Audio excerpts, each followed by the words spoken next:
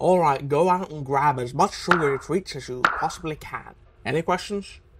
Didn't think so. Off you go.